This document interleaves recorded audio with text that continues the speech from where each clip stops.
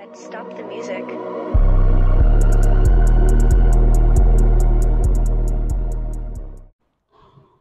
Yo, what's up YouTube?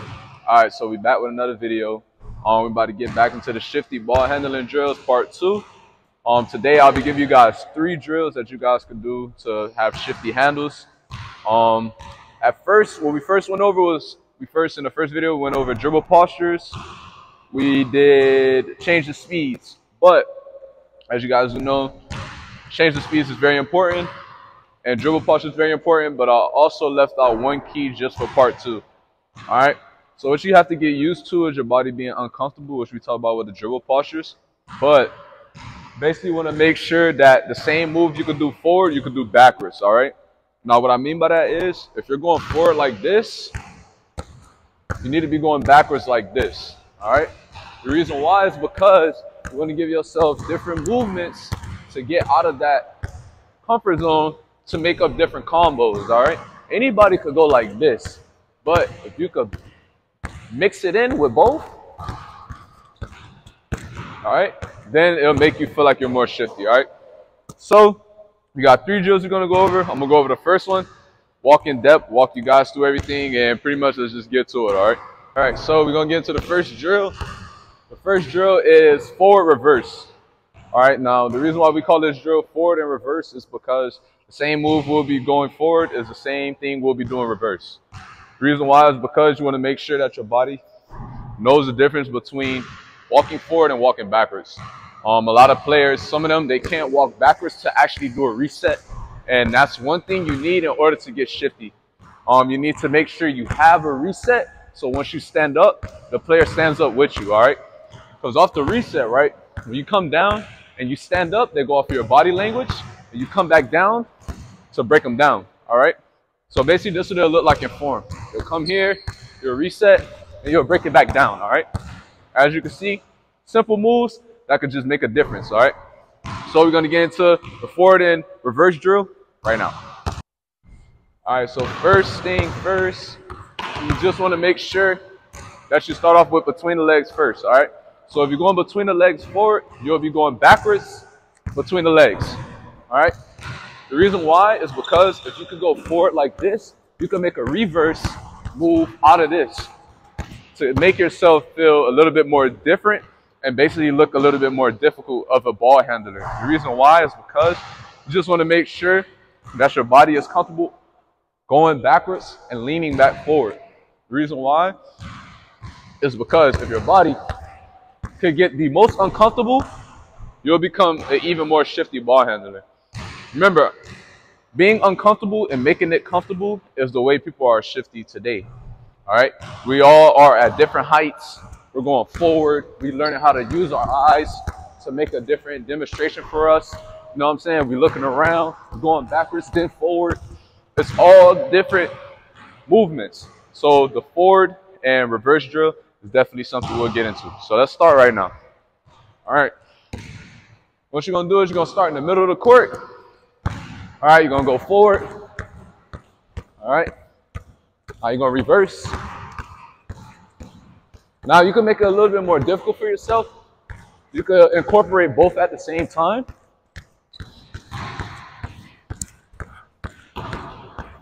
Or you can make it difficult by doing different ones, different variations.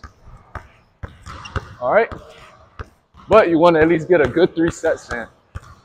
All right. This will be my third set. All right, so that's drill number one. We're gonna do three different variations, all right? So you wanna go between the legs. You also wanna make sure you get your crossover forward and backwards correctly. Same thing you'll do if you're doing forwards, you'll be doing backwards. I know this is pretty difficult, but as you can see, it's working on footwork as well. You can get your footwork backwards. You can make different moves. You can learn how to snatch back properly.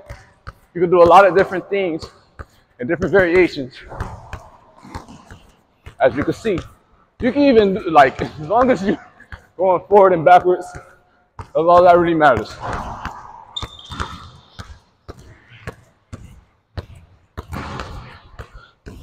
Same thing.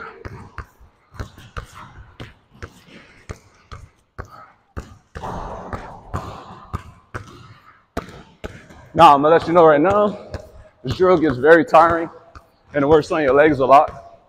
So be mindful. All right, so the first one, between the legs, crossovers. Now you wanna do behind the backs. Those are like your top three go-tos. Between the leg, crossover, behind the back. Top three go-tos, all right? So now, we're gonna go behind the back. So, this will be behind the back forward, this will be backwards. You can reverse it too, like this. Then going backwards first, then throwing it forward. All right? You got to do different things for your body to get used to it. So you can even do it like this. Make it three pounds, go backwards the same way. As long as you're getting your body accustomed to going backwards. Mistakes are gonna happen, guys. I'm normal. So, yeah. Now, if you do lose the ball, you have to start back from where you were. So I'm on my second drill with this one. Second set, I mean. With this last set. And we're gonna start from here.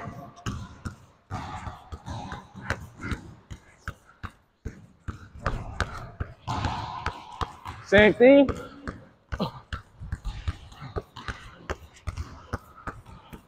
Y'all can see I'm just putting different variations. Just kind of showing y'all you can even mix the ones before if you want it to be a little bit more advanced. All right. So that's drill number one, forward and reverse. All right. Let's get to drill number two.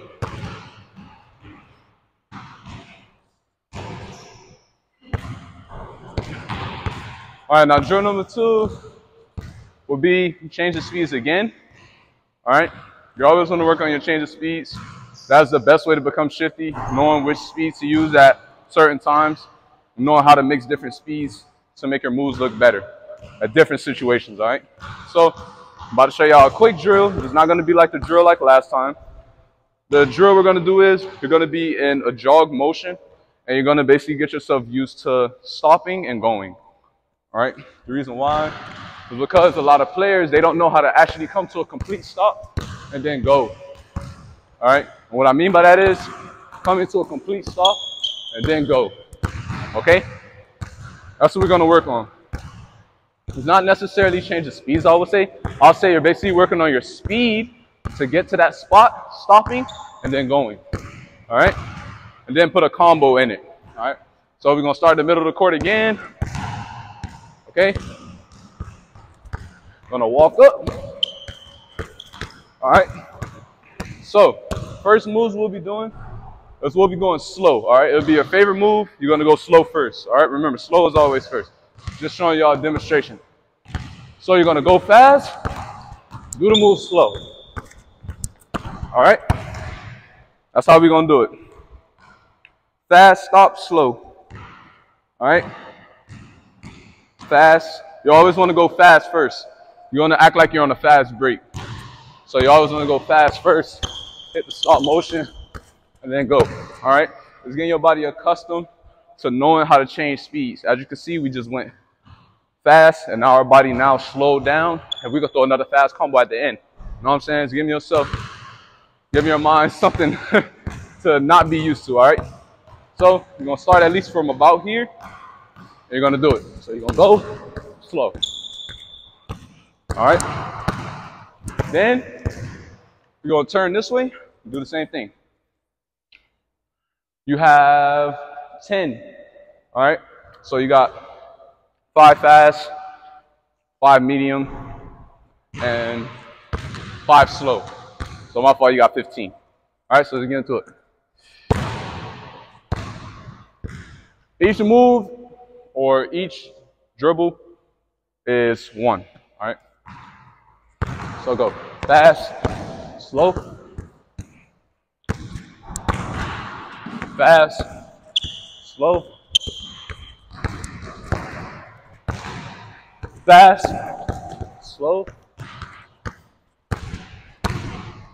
fast, slow, fast, slow, fast, slow. All right, next, uh, we got medium. Fast, medium, fast, medium, fast, medium, fast, medium, fast, medium, fast, medium. All right, now you got fast, fast. All right, go. Fast, fast. This one's gonna be pretty hard. Fast, fast, fast, fast, fast, fast, last set. Fast, fast. Woo! And that's what I call changing speeds. This is different the first drill we did. First drill we was doing, we were changing speeds with the ball in our hand. Now we're using our feet. So the first drill we did in the first video was, of course, using our hands.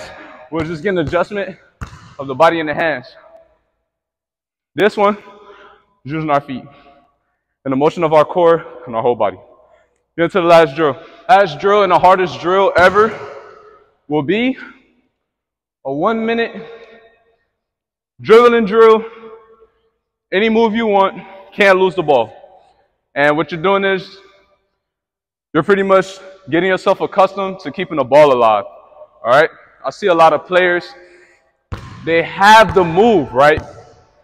They have a one on one. They start to back up, they pick up the ball, and they kick it out to the next player. Now, it's a difference between over dribbling and keeping the play alive. All right? Over dribbling is when you dribble too much, you reset, and you start dribbling again. Keeping the play alive is different. Keeping the play alive is dribbling, looking around to checking your teammates, then making a move, and then going to the basket. Y'all get what I'm saying? So what I'm saying is the first player, he was just first looking to score. All right? That's what's called over dribbling. If you're looking to cook and score, that's over dribbling. We call that overkill. All right? Now, if you're a player that's looking to get your team open, using your eyes to get yourself open, that's what we call keeping the play alive. All right? There's a difference between dribbling in front of somebody, right? Doing all of this, and then trying to kill them. All right? That's what we call over killing, over dribbling. Okay? Keeping the play alive is looking around keeping the ball alive to now set you up to get to where you got to go. Okay? The reason why is the first player, he's looking at the actual defender and trying to get a bucket. The second player is looking for his team first, making players bait, then knowing how to get to a spot. That's the two different players. Okay? So now, about to get into keeping the ball alive. All right? So we got a one minute drill. All right. You basically are going to count in your head or you can count out loud or you could do based on the number of dribbles. All right. So one, two, three, four, five, six. So you want to just keep counting that number in your head over and over and over. All right. Until you get to 60, of course. All right. 60 seconds, one minute. All right. So let's get into it. You want to just think of a varia- variations of different moves you have wanted to learn or seen somebody do, and you just want to keep trying to get it, trying to get it, trying to get it, and burn yourself out for one minute. All right? The main key is to not lose the ball. If you lose the ball, you get deducted 10 seconds. All right, so that means an additional 10 seconds is added. All right, let's get into it. Set. Go. Pay attention. One, two, three, four, five, six, seven, eight, nine, 10, 11, 12, 13, 14, 15, 16, 17, 18, 19, 20, 21, 22, 23, 24, 25, 26, 27, 28, 29, 30, 31, 32, 33, 34, 35, 36, 37, 38, 39, 50, oh, 40, 41, 42, 43, 44, 45, 46, 47, 48, 49, 50, 51, 52, 53, 54, 55, 56, 57, 58, 59, 60. Looks easier on camera. When you actually do it, you start getting fatigued, you understand. All right, you guys, that is it for today's video. We did three different drills to get shifty. Um, I hope you guys learned a lot. I'm just pretty much here to help. I appreciate all the love from the first video. I didn't think I was gonna get that many views and likes. Thank you guys so much, man. I appreciate all of you guys tuning, commenting, checking it out.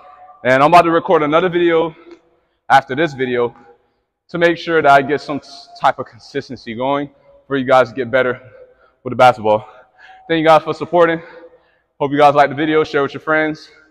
And yeah, let's all get shifty together. Have a great day. Keep chasing your dreams. And always remember, the only person who's stopping you is yourself. Peace out, guys.